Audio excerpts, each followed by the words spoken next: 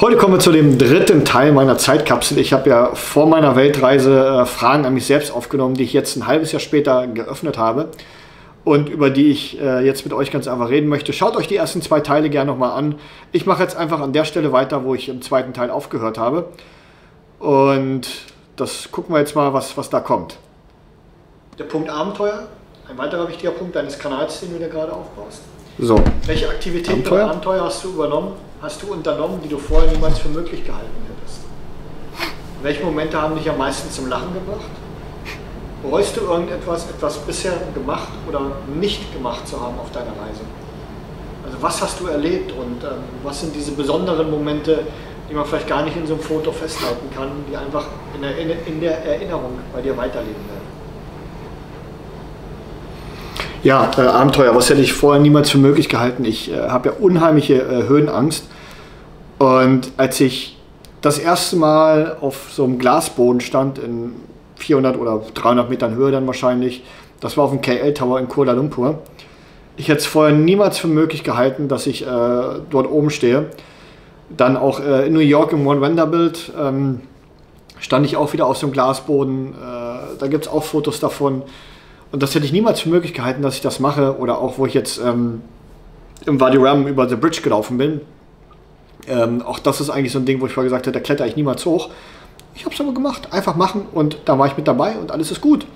Also Dinge, die ich wirklich niemals für möglich gehalten hätte dabei. Und ja, besondere Momente, die mich zum Lachen gebracht haben, ja, das waren halt immer, wenn ich dann mit irgendwelchen Menschen unterwegs war und wir echt wirklich super viel Spaß hatten.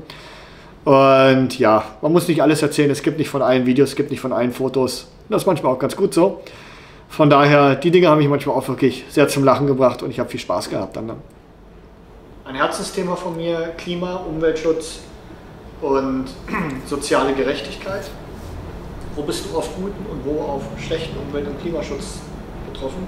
Du hast dir ja vorher auch Gedanken gemacht, ob du in irgendwelchen Unterkünften äh, unterkommst die dann besonders äh, gut bewertet sind mit einem äh, Nachhaltigkeitsrating bei Booking zum Beispiel. Ähm, was ist dir in diesen Unterkünften zum Beispiel aufgefallen? Was ist dir aber auch in der Umwelt aufgefallen? Wie gehen die Menschen vor Ort damit um? Ähm, wie ist es in den anderen Kulturen um Klima- und Umweltschutz äh, gestellt und um soziale Gerechtigkeit? Wo war vielleicht besonders viel Müll und wie bist du dann in diesen Situationen damit umgegangen? Das interessiert mich vor allem auch. Wie hat sich deine Wertschätzung für die Schönheit der Natur und des Planeten insgesamt erweitert? Ja, das ganze Thema Klima. Ähm, ich hatte, glaube ich, in meinem Klimavideo auch gesagt, dass ich äh, mir eine Plastiktüte mitnehme und dann Müll sammeln werde, wenn ich das irgendwo sehe. Entweder waren die Städte sauber, sowas wie zum Beispiel in äh, Tokio, oder aber es lag so viel Dreck rum, dass man gar nicht gewusst hätte, wo man überhaupt anfangen soll. Also ich habe selbstverständlich darauf geachtet. Ich habe hier und da auch ähm, Videos dann mal davon gemacht, wenn es äh, extrem dreckig zum Beispiel war. Und es ist sehr unterschiedlich ausgeprägt alles. wir sind in den westlichen Zivilisationen, ähm, also inklusive Japan und äh, Australien, Neuseeland, äh, sehr weit vorne mit dem Thema Umweltschutz. Ähm, auch wenn wir in Deutschland immer noch mehr machen können, wir können immer noch mehr machen. Und ich habe mir auch sehr viele Notizen dazu gemacht und ich würde ganz einfach sagen, es gibt eine Hälfte der Welt, die ist wirklich ganz hinten dran noch mit dem ganzen Thema Umweltschutz und Klima. Müllverbrennung, äh, private Müllverbrennung und sowas.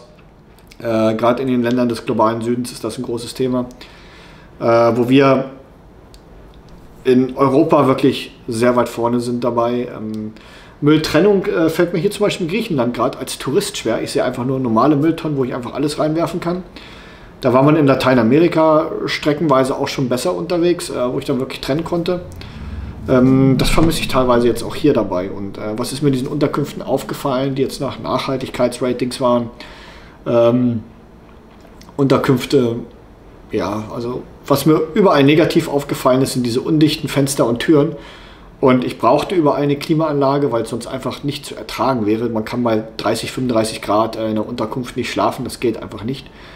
Ähm, und ich müsste das mal berechnen, aber ich glaube, das würde, ich habe es glaube ich schon mal ein bisschen gerechnet, das würde durchaus einen Beitrag bringen, äh, CO2 zu reduzieren, wenn man einfach nur alle Hotels und Motels weltweit richtig abdichten würde, einen gewissen Anteil, ich habe es für mich einfach nur überschlagen. Als ich im Roadtrip war, hatte ich ein bisschen Langeweile gehabt, mir die Zahlen vorher rausgesucht, dann habe ich es gerechnet. Und es würde einen Impact bringen. Ey, dichtet alles mal vernünftig ab. Äh, Fenster und Türen äh, ist ein Einmal-Invest, aber ihr spart daran unheimlich dann äh, für Klimaanlagen, weil die müssen in den Ländern, die ich bereist habe, einfach laufen. weiter. Welche Begegnungen oder Gespräche haben deine Sicht auf soziale Gerechtigkeit und auch die globalen Probleme insgesamt auch nochmal verändert und erweitert? Ja, Thema soziale Gerechtigkeit, welche Gespräche, das war ganz am Anfang selbstverständlich das Gespräch, äh, beziehungsweise der Besuch im Samaria ähm, Children Care Center. Das hat mir ganz deutlich gezeigt, wo wir stehen, wo wir leben in Europa und was es in der Welt für wirkliche Probleme gibt. Und das ist wirklich das Kämpfen ums Überleben, das Kämpfen um Chancengleichheit, das Kämpfen um eine Perspektive im Leben. Und Perspektive im Leben heißt nicht, dass ich eine Karriere mache und noch ein Tausender mehr einstecke, sondern dass ich nicht auf der Straße lande. Und das ist halt auch die Realität in vielen Teilen der Welt. Und das hat die Ungerechtigkeit in der Verteilung, ähm, das hat das bei mir definitiv nochmal weiter getriggert. Das ist so eine Floskel, die man vorher mal sagt. Das hat für mich alles äh, Namen und ein Gesicht bekommen. Was ich auch in vielen Gesprächen äh, gehört habe, dass der deutsche Pass wirklich extrem mächtig ist. Das wusste ich vorher auch schon. Äh, kann man auch bei Passportindex und sowas alles nachschauen. Und wenn ich mir dann angucke, Menschen, die ich irgendwo getroffen habe, die auch nur das gleiche Reisebedürfnis haben, die auch nur Menschen sind, die auf dem Planeten Erde leben, die auch nur ein Korallenriff sehen wollen, die einfach nur eine Safari machen wollen, die einfach die gleiche Schönheit dieser Natur äh, erleben wollen, ähm, die ich nach wie vor genauso finde und vielleicht noch ein bisschen beeindruckender, weil ich jetzt wirklich alles noch komprimiert gesehen habe. Ich glaube, die Frage kam vorher noch mal irgendwo. Die können es aber nicht, weil sie nicht überall hin können mit ihrem Pass. Und das finde ich auch eine extreme Ungerechtigkeit, dass sowas einfach von ähm, dem Glück, wo man geboren ist, oder von dem Pech, wo man geboren ist, abhängt. Und letztlich sind wir alles Menschen, die frei reisen wollen. Und wir haben gemeinsam viel Spaß. Also ich habe viele Menschen kennengelernt, die wirklich aus aller Herren Länder kommen. Und da sind wir Menschen alle gleich, mit den gleichen Bedürfnissen. Und wir wollen halt alle nur die Welt sehen. Und das ist so ein bisschen die soziale Ungerechtigkeit, die hier durchaus auch ist. Und ich denke, sowas wolltest du wahrscheinlich hören, auch äh, in so eine Richtung. Ähm, ja, machen wir weiter mit der nächsten Frage. Sonst rutsche ich hier komplett ab. Wie hast du dich um die sozialen Projekte gekümmert und wie oft hast du dabei auch welche unterstützt? Hey, momentan steht gerade erst ein einziges und ich hoffe, dass ganz einfach in den ein oder anderen Ländern noch was hinzukommt. Da bin ich ja gerade noch dran. Ich jetzt hier, Dennis, im Vorfeld. Und ich hoffe, dass ich da jetzt die Kontakte knüpfe, dass du es vernünftig umsetzt in der Zukunft. Ja, soziale Projekte. Ich habe wirklich nur das eine gemacht im Samaria. Ähm, da war es auch ein bisschen maßlos, äh, was wir damals ja dort noch an Spenden mit reingebracht haben. Ähm, das ist dann mein Herzensprojekt geblieben. Ich habe da immer noch den Kontakt mit hin und kriege da teilweise auch wirklich positive Nachrichten auch von dort. Äh, dass zum Beispiel ein Herz-OP von äh, einem kleinen Jungen dabei jetzt äh, geklappt hat. Ich habe das in dem Video angerissen gehabt. Und ich habe danach keine Projekte mehr unterstützt gehabt. Ähm, habe es auf den Finchis nochmal versucht gehabt, da hat es dann nicht gepasst. Aber ich bin halt bei einem Projekt dabei geblieben, äh, weil es zum einen extrem viel war, was dort gespendet wurde von mir auch. Und das andere ist, ähm, so, kann ich, so kann ich den Fokus darauf legen. Und äh, das ist so eine Sache, die ich bei mir zum Herzen trage. Und ich habe tatsächlich einen Gedanken, den, den habe ich momentan so ein bisschen, hey, fliegt auf Weihnachten runter und hilft da unten ein bisschen. Ist aber wie gesagt nur ein Gedanke. Ich muss einfach mal gucken, was und wie ich mache und vor allem auch einen Kassensturz machen nach der Reise ähm, und dann mal gucken, was so realistische Möglichkeiten sind. Als Gegenspieler dazu Materialismus bzw. dann Minimalismus. Wie hat sich deine Wahrnehmung verändert in Bezug auf Zeit und Prioritäten, Materialbesitz und Konsum, Luxus und Komfort, aber hm. auch Zeit und Routine im Alltag? Ja, Luxus, Komfort, Zeit, Routine im Alltag. Also ich habe immer versucht, auch äh, zeitliche Routine äh, hier auf der Reise zu haben. 8.20 Uhr hat meistens der Wecker geklingelt, also wenn ich so ganz normal ohne Checkout dabei war, selbst mit Checkout, weil ich die meistens um 10 hatte oder auch um 10 gemacht habe. Dann äh, habe ich meinen Tag verbracht, war meistens dann so gegen 15, 16 Uhr, irgendwann hat sich das eingependelt, zurück in der Unterkunft, einfach weil es dann meistens auch zu heiß war, um ein bisschen Cooldown zu haben, mein Daily Posting zu machen. Ähm, ihr habt ja gemerkt, dass es dann so ein bisschen durchrotiert ist, je nachdem mit den äh, Zeitzonen, die ich gerade durchflogen habe. Und dann abends, dann je nachdem, ob ich dann nochmal unterwegs war oder nicht, ähm, dann aber gegen zwölf dann so meistens dann auch irgendwie im Bett war. Das ähm, war dann immer so die, die zeitliche Routine, die ich hatte. So, jetzt muss ich mal kurz gucken, was war die andere Frage dabei? Ah, Luxus, ja. Genau. Äh, ja, mit Luxus und sowas habe ich vorhin ja schon was gesagt. Also ähm, das, was für mich jetzt Luxus ist, das ist Dusche, Bett, Käsebrot ähm, und vegetarische Produkte, das, das ist das, was für mich äh, Luxus jetzt ist. Und ich werde das wahrscheinlich nochmal bewerten können, wenn ich zu Hause bin, richtig? Äh, dann den Luxus sehe, den, den ich dort äh, hatte, habe und das nochmal in Relation setze zu dem, was ich jetzt hier gerade als Luxus empfinde. Das ist definitiv nochmal dann eine spannende Sache auch, aber wie gesagt, äh, was ich jetzt als Luxus empfinde, ist, wenn ich mir vorher gesagt hätte, buch ein Luxushotel, ähm, wäre das irgendwas mit fünf Sterne gewesen, wo es einen Butler-Service gibt und so ein Scheiß. Ähm, aber meine Definition von Luxus ist jetzt, dass aus der Dusche vernünftiger, vernünftig Warmwasser rauskommt und vernünftiger Druck drauf ist. Und dass ich beim Zähneputzen ähm, nicht eine Fas äh, Flasche Wasser dabei haben muss, weil das ist in vielen Ländern leider wirklich, muss so sein, weil kein sauberes Trinkwasser da ist. Weiter. Wie problematisch oder praktisch ist es für dich, nur aus einem Rucksack zu leben? Weil ich denke daran, als es vor vier Jahren in Südamerika so weit war und ich mit dem äh, Backpack nur unterwegs war, war es extrem nervig, immer wieder alles aus dem Backpack äh, dabei rauszuholen. Den hatte ich auch gehabt, wo ich mir von oben was rausholen kann. War auch ein Aufgabegepäck. Ich erinnere mich dabei an äh, Chile, dort bei der Einreise an den Flughäfen. Äh, es musste bla, bla, bla. immer wieder alles ausgepackt werden. Die haben wirklich alles äh, dabei gefilzt. Ich habe dann irgendwann die, übrigens ein kleiner äh, Lifehack, die Dreckwäsche nach oben gelegt, als sie dann auf dem Tresen lag. Ähm, das war dann beim zweiten oder dritten Flughafen. Dort haben sie dann gesagt, pack wieder ein, geh weiter.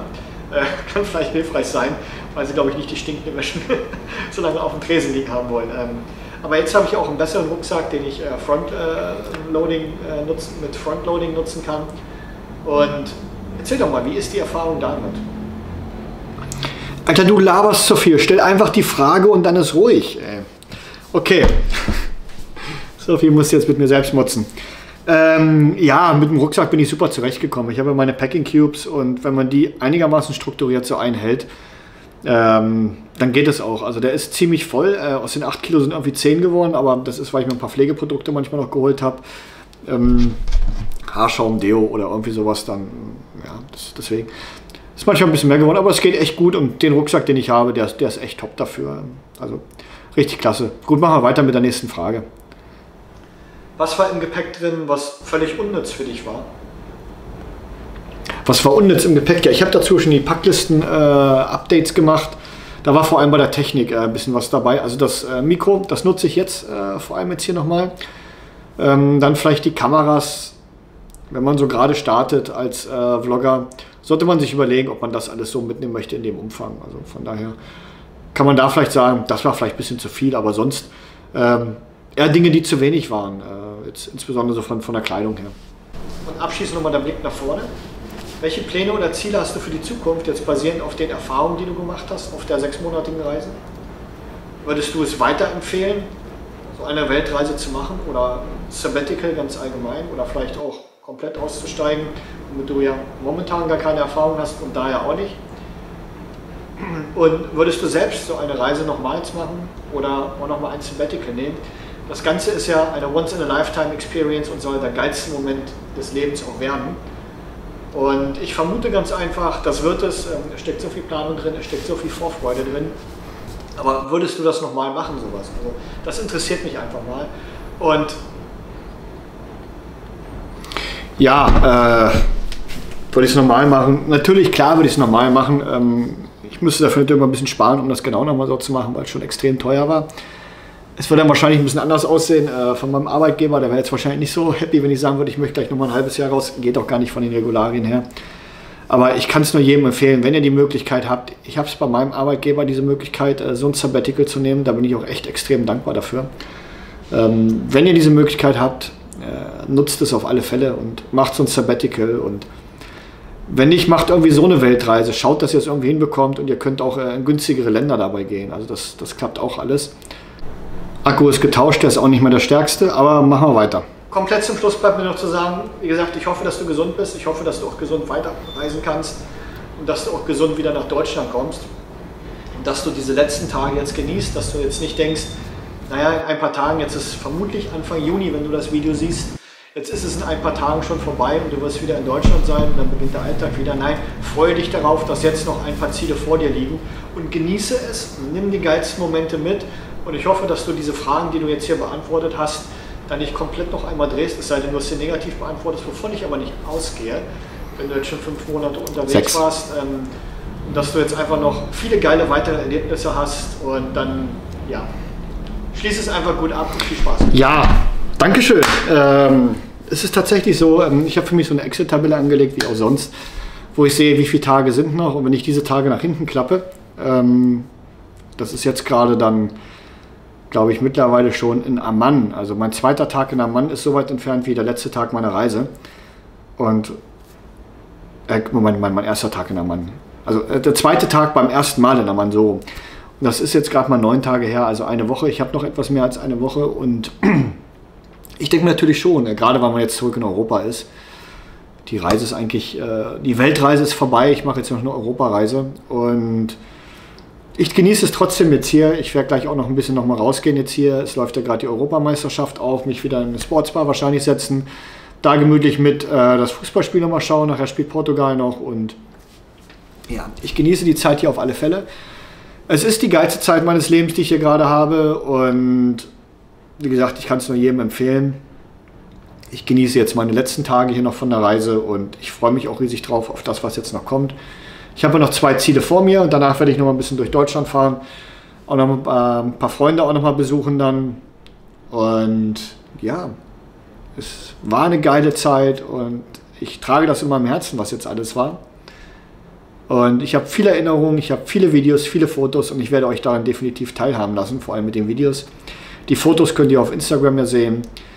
Und folgt mir hier auch auf alle Fälle auch auf äh, YouTube, um die Videos dazu auch zu sehen. Ich hoffe, euch hat das jetzt gefallen, hier meine kleinen Fragen an mich. Ihr könnt ja mal drunter schreiben, wenn ihr noch irgendwelche Fragen habt, die euch interessieren. Die greife ich dann gerne auch nochmal mit auf, die kann ich dann darunter diskutieren. Oder vielleicht gibt es da sonst mal ein weiteres Video dazu. Das werde ich dann einfach mal alles sehen, äh, wie sich das entwickelt. Und ich mache jetzt erstmal weiter hier mit dem Genießen meiner Zeit hier vor Ort. Bis dahin, macht's gut.